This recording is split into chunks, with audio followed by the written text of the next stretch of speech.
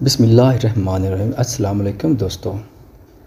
Manager ने जैनी को छेड़कर देखा, फिर नागवारी से कहा, आप यहाँ की सुपरवाइज़र बन तो लेकिन आप में वर्कर से बर्ताव करने की कोई सलाहियत नहीं है। मैं नहीं समझता कि आप अपनी ये पोजीशन आगे भी संभालने की अहल हैं। अनिजा यहाँ सिर्फ़ जॉब करती किसी को परेशान नहीं करती। आप क्यों उसके पीछे पड़ी मुआफ़ कीजिएगा तोसीब से यहाँ हर वर्कर अच्छी तरह से जानता कि अनिजा अपनी नौकरी से कितनी मुखलिस है।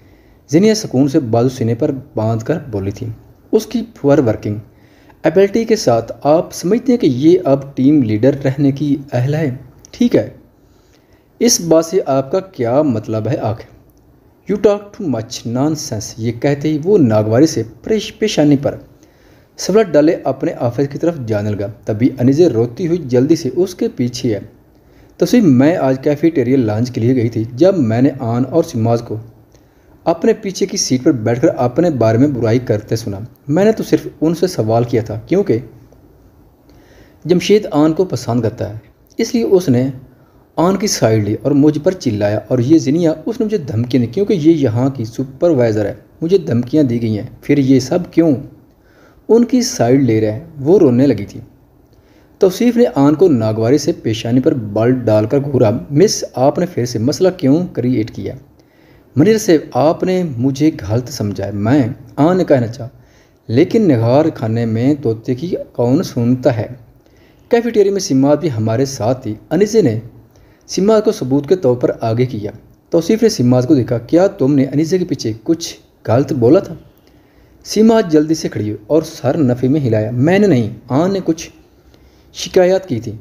दैट्स ऑल मैं तो बस एक तरफ़ बैठी सुन रही थी। सिमात ने फखरिया मुस्कुराहट होंठों पर जाकर कहा सिम्मा ने जो कुछ कहा, क्या अनिसे की बात अब सच्ची नहीं? नज़र नाराज़गी से बोला आ ने उसे सपाट नज़रों से देखा मैं नहीं मानती। मुझे किसी दूसरे की परवाह मैं सिर्फ़ इतना जानती हूँ कि तुमने मेरी बुराई की है अनिजा ने मुठियाँ भींची। इस वहाँ कोई भी गवाह नहीं था, वहाँ कोई सबूत नहीं था। अगर वो किसी दरिया में भी कूद जाती, तब भी अपने आप को सच्चा साबित नहीं कर सकती थी। वो बरतरफ नहीं होना चाहते वगरना अलीदान शाह सख्त मायूस हो जाता। मैनेजर सख्त नाखुश था। ऑल राइट अब इस मसले पर ज़्यादा बात ना हो। आन जब से आप कंपनी में आई हैं, मसले का सबब बनी हुई है। मैं समझता हूँ, आपको बहुत पहले से अपना काम रोक देना चाहिए था। कुछ ही देर में मैं फिनांस डिपार्टमेंट को कॉल करके आपका हिसाब क्लियर करता हूँ। आप जाकर अपने सैलरी तय कीजिए। आन ने सर उठाकर उसे हैरा से देखा। अगर वो उस तरीके से निकाल दी गई तो वो अलीदान शाह के सामने अपना सर ना उठा सकेगी। आफ्टर अलीदान शाह ने किसी के लिए पहली बार अपने वसाइल इस्तेमाल किए थे। मैं ये मान ही नहीं सकती, मैं क्यों जॉब छोड़ूं? जिनिया ने भी उसकी साइड ली। आन ने कुछ भी गलत नहीं किया। तवसीफ साहब, आपको सबके साथ बराबरी का बर्ताव करना चाहिए। ये ट्रेनिंग डिपार्टमेंट मेरी जिम्मेवारी पर है। तो फैसला भी मेरा होना चाहिए कि ना कि आपकी जिम्मेवारी पर, जो आप फैसला करेंगी। जैसे ही मैनेजर ने बात पूरी की एक सर्द और दिल फ्रेब आवाज़ पीछे दरवाजे से आई, मुझे मालूम ही नहीं था कि मेरी कंपनी का कंट्रोल डिपार्टमेंट के मैनेजर के हाथों में है। जैसे ही उसने ये बात की, हर एक ने मुड़कर दरवाजे की तरफ़ देखा और सब वहीं पर सख्त रह गए। जब अली दान शाह जहर हुआ, पूरे ऑफ़िस में मौत जैसे सर्द खामोशी छा गई। सभी अली दान शाह कंपनी के ओनर को पहली बार नीचे अपने सामने देख रहे थे।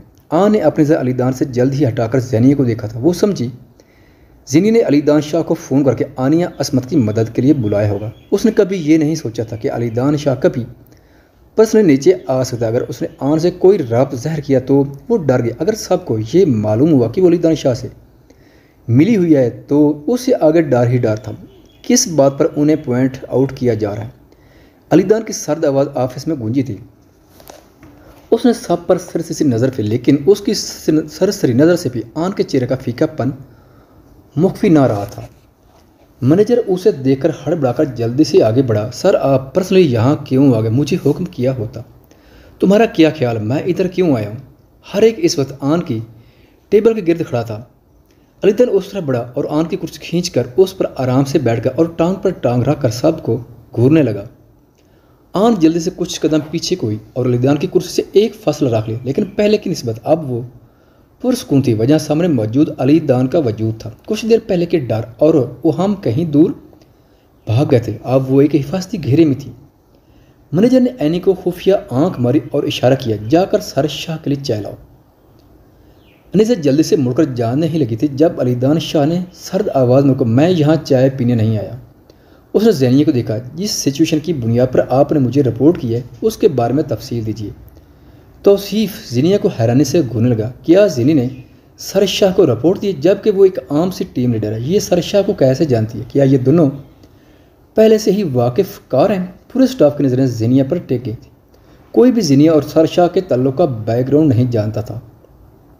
अनिजा खुद भी दंग रह गई जिनिया ने आँख तिरछी करके अनिजा को देखा, सर, मैं नहीं जानती। अगर आनिया ने अनिजा के पीछे कुछ बुरा कहा मैंने खुद नहीं सुना। आफ्टरऑल मैं इस वक्त वहाँ मौजूद नहीं थी। उसने साफ़ और सीधी बात कही। लेकिन किसी के पीछे बुरी बातें अनिजा ने बहुत सी कर दी हैं। इस ऑफ़िस में कोई एक भी ऐसा नहीं जिसको पीठ पीछे या सामने बुरा भला ना कहा गया या धमकियाँ ना दी गई इसने सब लोगों को देखा, यहाँ आए वो लोग जिन्हें अनीजे ने डराया या धमकाया ना हो। लेकिन कोई भी आगे ना बढ़ा अनीजे सख्त परेशान हुई मैंने कब तुम लोगों को डराया या धमकाया? ये मत समझना कि सर के सामने तुम लोग मुझ पर इल्ज़ाम तराशी करोगे। मैं वो बात मान ही नहीं सकती, जो मैंने नहीं की। अनीजे जहरद पड़ गई।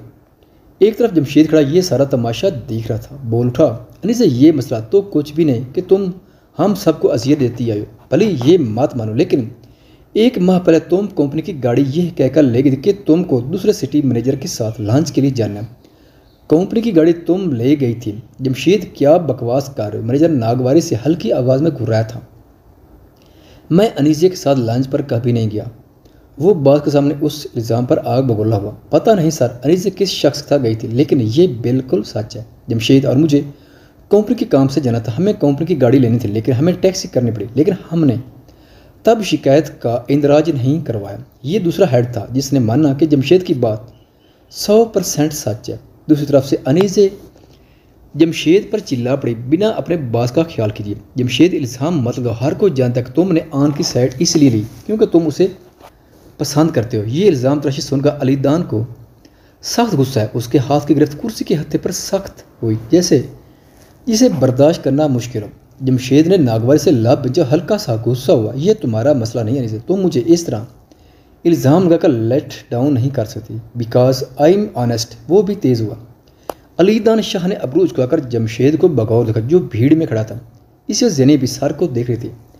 अलीदान शाह ने अपनी नज़र हटा लिया मगर आन असमत की तरफ़ देखने की गलती बिल्कुल नहीं की, जो उसके पीछे खड़ी थी। आन खुद को इस वक्त कसूरवार समझने सारा मसला उसके आने के बाद शुरू हुआ था। ना वो ये जाब करती, न ऐसा कुछ होता। तो तुम्हारे कहने के तब उस औरत ने कंपनी के वसायल का गलत जगह पर इस्तेमाल किया, सिर्फ़ अपने ज़ाती काम के लिए। यस। जमशेद ने सर इस बात में हिलाकर कहा, जिनी ने कुछ पल को सोचा और अपने डेस्क की तरफ़ बढ़ गई। अपने टेबल के दराज से डॉक्यूमेंट्स निकाले और इधर शाह के करीब आकर वो डॉक्यूमेंट्स बास की तरफ़ बढ़ाए। सर, ये वो सबूत जो मैंने इकट्ठे किए हैं कि अनीजे ने कंपनी के वसायल का गलत इस्तेमाल किया।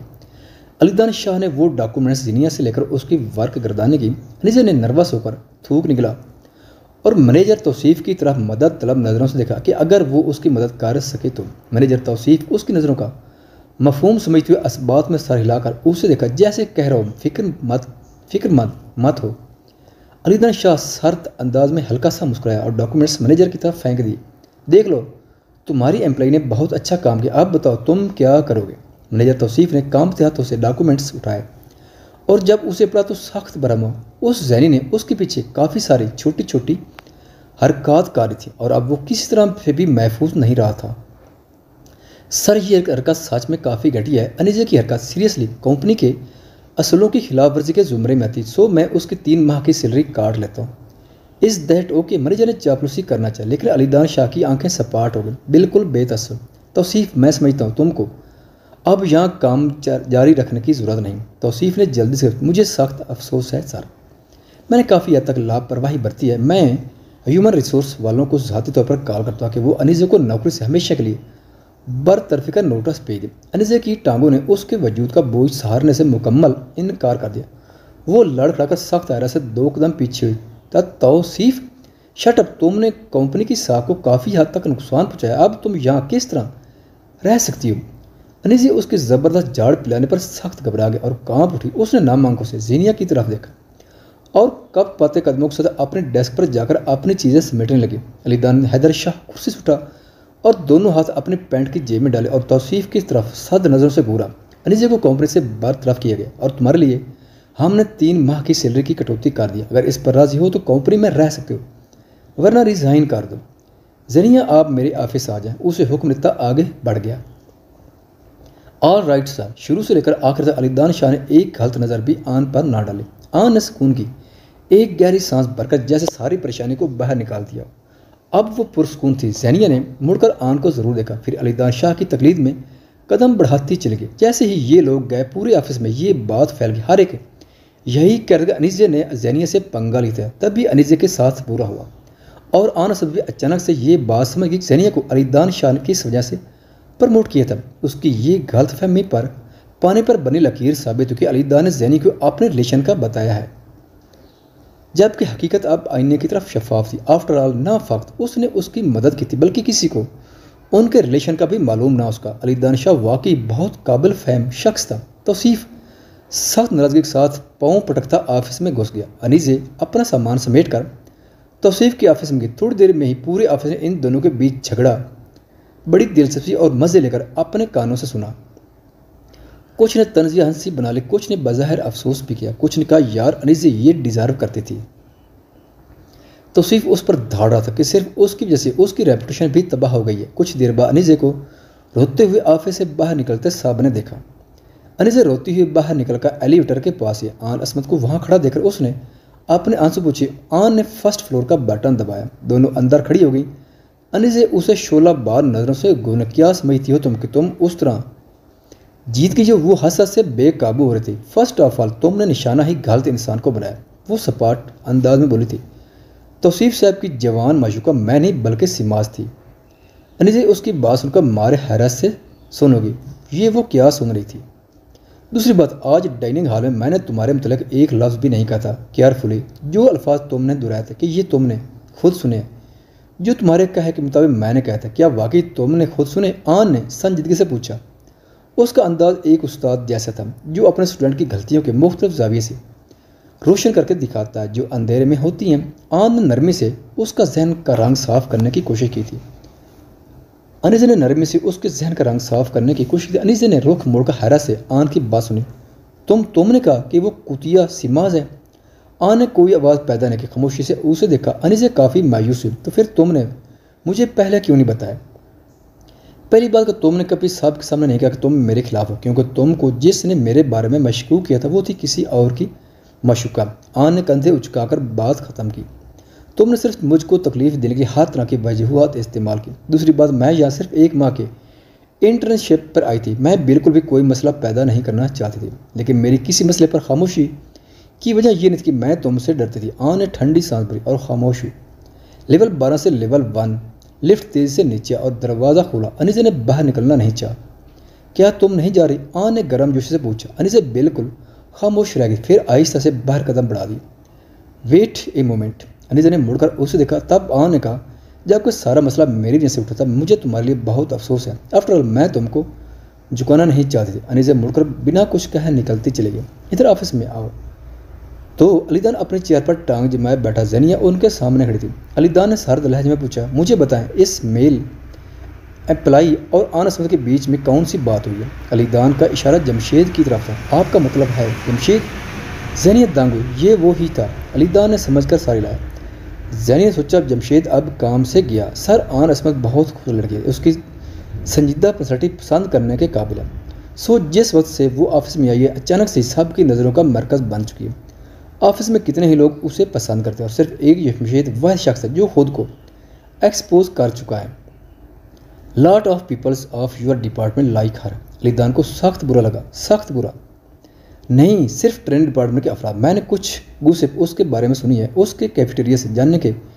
कुछ लंबा बाद कितने ही लोग एक दूसरे से पूछ रहे हैं कि ये कौन से डिपार्टमेंट से आती है? और कितने ही लोग तो सिर्फ़ इसलिए लंच करने आते कि इसको देख सकें। जनी तो बास के तसरत देखा दिल में हैरान हो रहे थे। ये सुनकर अलीदान शाह सख्त नाखुश हो ये औरत हमेशा क्यों इतनी अट्रैक्ट करती है? जहाँ भी जाती है, स्कूल में, उसके चेहरे की वजह से। School beauty. सेलेक्ट किया गया। एक ही सिचुएशन फिर से क्यों आती है? आपसे आप उसके गिरद मर्दों पर ध्यान रखना और मुझे सूरत हाल से आगाह करती रहना। उसे ताकीद की गई। ऑल राइट सर जैनी को तो सर दर्द हो गया। ये एक बहुत बड़ा प्रोजेक्ट था, लेकिन खुशकिस्म से ये तो टेंडर लव फक्त एक महीना यहाँ रहना था। सना हमजा की आज फ़्लाइट थी। दोनों ने पूरा दिन साथ गुजारा। खाना साथ खाया। चार साल के दौरान की बातें याद कर कभी हँसी थी, कभी अफसरदा हुई थी। आठ बजे की फ़्लाइट से सना चली गई। आन ने उसे अफसुदगी से सी ऑफ़ किया था। उसे ये डर नहीं था कि सना उससे बिछड़ते रो पड़ेगी, बल्कि वो खुद से खौफ थी कि वो उसे अलविदा करते अपने आप को रोने से रोक ना पाएगी। हसब मामूल जब अलीदान उसके पास डिनर के लिए आए, वो दरवाजे की सीढ़ियों पर बैठी। आसमान को तके जा रही थी। वो गाड़ी से उतर कर हैरान होता उसके पास है। ये आप इस तरह ऊपर क्या देख रही हैं? वो हैरान था। आन ने आसमान पर इशारा करते कहा इट्स एन एरोप्लेन तो इस एरोप्लेन में अच्छा किया। अलीदा ने जैसे जानने की आन के जहन में किया है। कि आपको तजस नहीं होता कि किस किस्म के लोग इसमें बैठे कहाँ जा रहे हैं? उनके दिल में क्या राज हैं? और किस खानदान के हैं? वो बच्चों की सी हैरानी से पूछ रही थी। सना इस वक्त प्लेन में है। ने यह पूछने के साथ ही सीढ़ियों पर बना। अपने लिबास का ख्याल किए। उसके साथ बैठ गए आन ने इसबात में सारिल हम, वो काफ़ी तेज़ रफ्तारी से गुजर गया। वो जैसे खुद से हम कलाम थी। तो फिर आप अभी तक ऊपर क्यों नहीं नहा रही हैं? वो सवालिया हुआ। मुझे इनसे हंसा हो रहा है। आन ने मुझे दिल से कहा। हर साल छुट्टियों के दौरान जब सब स्टूडेंट्स एक एक करके अपने घर चले जाते थे, मुझे खास तौर पर। इन सबसे जलन होती कि उनके पास वापस जाने के लिए एक ठिकाना है। वो बूझी बूझी सी बोल रही थी। और जब स्कूल शुरू था, ये सब बहुत सारी ख़ास खास चीज़ें लाते हैं। ये कहकर कि ये हमारे फादर ने हमारे लिए तैयार करवाई और ये चीज़ें हमारी माँ ने बनाई। अब जबकि मैं ग्रेजुएट हो गई हूँ, हर एक अपने अपने रास्ते पर चला गया। आन ने अपनी खाली हथेली को घुरा अलबत्त उसकी आवाज़ जज्बात से बोझल ज़रूर थी। सिर्फ़ एक मैं हूँ जो इस जगह पर खड़ी हूँ, बिना किसी कार के, बिना किसी फैमिली के, बिना किसी ख्वाहिश या ख्वाब के। ये महसूस होता है जैसे यही ज़िंदगी है। बस आन ने उसे अपने तरफ़ महविया से देखता पाकर नज़र चुराई। आपको मुझ पर तरस खाने की ज़रूरत नहीं, मैंने ये सब इसलिए नहीं बताया कि लोग मुझसे हमदर्दी करें। मुझे सिर्फ़ इनसे हसद और जलन महसूस होता है उसके लहजे में नमी सी थी। अलीदान उसके करीब खिसका और लाशारू तरफ़ अपना बाजू उसके शानों पर फैला दिया। कोई भी आप पर तरस नहीं खा सकता, भला आप किस तरह काबिल रहम हैं? क्या आप ये समझती हैं कि जिन लोगों के पास बहुत सारे रिश्ते मौजूद होते हैं, वो बहुत खुश होते हैं? आन ने ना समझ से सर उठाकर उसे देखा, ये ज़रूर नहीं है, आन। उनके साथ भी काफ़ी सारे मसले होते हैं। दूसरी बात, किसने कहा आपके पास आप कोई रिश्ता नहीं? क्या आपके पास मैं नहीं हूँ? मैं आपके लिए यहाँ मौजूद हूँ। इसने अपने सार में मुकीद गुम सुमसी आन के खूबसूरत चेहरे को प्यार से देखा। नरम गरम एहसास ने दिल को छुआ तो आन की आँखें नम हो गई। इस शख्स के लिए, जो काफ़ी अरसा तनहा एक ही जुमला सुनना पसंद करता है। वो होता है, मैं आपके साथ हूँ। आप तनहा नहीं हो। लिदान शाह ने उसे मुस्कुरा कर देखा, मुझे उम्मीद है, आन, और यकीन भी कि एक दिन आप अपने ये हो सकता अनाब मेरे सामने छोड़ देंगे। अपना ये मसनू रंग उतार फेंकेंगे और मेरे रंग में ढल जाएँगे। इस वक्त हम ज़्यादा वक्त तनहा नहीं रहेंगे। वो भी तो तनहा था, अकेला था, आन। ये बात क्यों भूल गई थी? सनीचर की सुबह उसकी नींद मुसलसल होती बैल की वजह से सख्त डिस्टर्ब हुई। ये छुट्टी का दिन था, वो अपना आधा दिन सो कर ही गुजरती थी। उसने सोचा, ये अलार्म होगा, सो उसने अलार्म कलर स्विच ऑफ़ कर दिया। लेकिन कुछ देर बाद रंग होने से, रिंग होने से वो डर कर उछली। क्या उसने अलार्म बंद नहीं किया? फिर उसने सेल उठाकर देखा तो वहाँ मधान का नंबर ब्लिंक हो रहा था। ये शरीर लड़का आज छुट्टी के दिन है, ये क्यों कॉल कर रहा है उसे? आन ने सुस्ती से कॉल उठाई और बंद होती पलकों से बमुश्किल, हेलो का भाभी, आप मेरी कॉल क्यों नहीं उठा रही? मधान की बेचैन आवाज़ उसके कानों में पड़ी। भाभी ये किताब सुनकर आन की तो सारी सुस्ती उड़ान छू हो गई। मधान आन ने टुका तुम्हारे भाई से अभी शादी नहीं की। तो क्या हुआ आप दोनों ही एक दूसरे से एंगेज हैं? शादी भी होने वाली तो मैं आपको बिल्कुल भाभी बुला सकता हूँ। आप कब आ रही वो मान के ही नहीं दिया। बल्कि पूछा, कब आओगी? आन दाऊँगी कहाँ आऊँ कहाँ जाना? क्या आप अभी तक सो रही हैं? भाई ने आपको नहीं बताया कि हम आज वीकेंड मनाने चलेंगे? अपने फार्म हाउस पर। आप भूल गई मदा ने बुरा मनाया था। तभी नाराज़ सा बोला, वो वाकई इस बात को भूल गई थी और दस्तूर के मुताबिक ही अपनी नींद पूरी करने का मनसूबा बनाया था। मेरे लिए बेहतर है, मैं ना चलूँ। मुझे आज दूसरे काम में आन सुस्त से उठकर बैठ गए। आप वो सब मनसूख कर दें। मैं और भाई आपको पिक करने आ रहे हैं। आप तैयार होकर हमारा घर पर इंतज़ार कर। मदा ने यह कहते फ़ोन भी रख दिया और आन दंग सी उसका हुक्मनामा सुनकर सेल को घूर घूर कर रह गई हमेशा ही उसकी मर्ज़ी। पूछे बिना अलीदन हर फैसला कर देता था, वो चुपकी रह गई आन ने अपने लंबे ब्राउन बाल समेट कर जोड़ा बनाया और उठ गई। नहाकर ताज़ा दम हुई। जैसे ही नाश्ता करके फ़र्क हुई उसका फ़ोन फिर से बजने लगा। आपके फ़ोन पर अलीदान शाह था। आन ने मुँह बनाकर फ़ोन कान से लगाया सीढ़ियों तक आई मैं बहर इंतज़ार कर रहा हूँ। गंभीर आवाज़ों का बेसकता दिल धड़का था। आन ने लाभ कट क्या, मैं इनकार कर सकती हूँ? वो हिचकिचे, आपका क्या ख्याल अलीदान की आवाज़ पुरस्कून थी क्या आप खुद से नीचे आ रही हैं या मैं ऊपर आकर आपको उठा लाऊं? गंभीर लहजा सुनकर आन के दिल की धड़कन ने स्पीड पकड़ ली। उसने डरकर सल कान से हटा ली और अपना छोटा सा बैग, पैक उठाकर सीढ़ियाँ उतरकर नीचे आ गई और कार में जाकर बैठ गई। बिना देखे कि ड्राइविंग सीट पर अलीदान ही बैठा है। उसे देखकर वो सरप्राइज़ हुई। आप तनहा हैं? वो इधर उधर देखकर बोले, मदान कहीं नहीं था। मैं आपको लेने आऊँ। क्या आप चाह रहे थे कि बारात के साथ आपको लेने आता? ये मतलब नहीं था। आन ने बेसख्ता थूक निकला। मैं तो ये कह रही थी कि मदान ने कहा था, वो लेने आ रहा है। अलीदा ने उसकी बात सुनकर सारी लाया और गाड़ी चला दी। सफ़र के दौरान रास्ते में आन ने उसे खामोश ड्राइव करते देखा। तो बोल पड़ी, क्या हम शाम तक वापस आ जाएँगे? वो परेशान हुए हम शाम को वापस नहीं आ सकते। अलीदा ने ड्राइव पर तवज्जो करते मसरूफ़ जवाब दिया। क्या आन तो वे कुछ पल सुन रह गई। क्या मतलब है आपका? वो चीखी। हम आज रात वापस नहीं आएँगे वो उसकी तरफ़ मुड़ी और उसके चेहरे को हैरत से देखने लगी, जो सपाट था। हमारा ये ट्रिप दो दिन और एक रात पर मुश्तमिल है। अलीदा ने उसे नरमी से आगाह करना मुनासिब समझा। तो फिर आपने ये बात सवेरे क्यों नहीं बताई? आन अब सही से जिद चुकी थी। मैंने आपको कहा था कि वीकेंड के दो दिन बचा कर रखना। नहीं कहा था। अलीदा ने उसकी हैरत ज़दा नकूश को बुरा मम, मगर आपने ये भी तो नहीं कहा था कि दो दिन के लिए चलेंगे। आन परेशान होगी। मेरे ख्याल में आपको तारीख का ठीक से अंदाज़ा नहीं उसका। अलीदा ने लाभ पिंचे। आन काफ़ी डिप्रेस नज़र आ रही थी। जल्दी से गाड़ी मुड़े, मैं घर जाऊँगी। आन ने उसके बाजू पर हाथ रखा। अब काफ़ी देर हो चुकी है। हम काफ़ी आगे आ चुके हैं। अलीदान ने उसके बचपने पर उसे समझाया, लेकिन आन मन मनाए मैं अपना लगेज साथ नहीं लाए सिर्फ़ एक छोटा सा बैग लिया। वो तो परेशानी से रो देने को ही। तो आप अपने साथ और क्या ले जाना चाह रही थी? अलीदान तो उसकी बात सुनकर शुशदर रह गए। ये सिर्फ़ दो दिन और एक रात रहने की बात है ना? कि पूरी ज़िंदगी लिए जा रहे हो।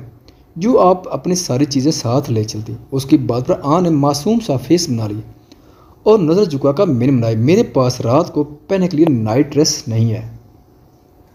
तो क्या हुआ? मेरा पहन लीजिए, वो शरीर मुस्कुराकर से मानी खेज हुआ। आपका आन की आँखें तो शाख से फटी रह गईं।